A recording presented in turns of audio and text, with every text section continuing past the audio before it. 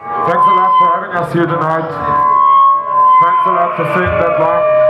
There's a lot of space here, so please fill it out. Come closer, don't be afraid. Thanks a lot.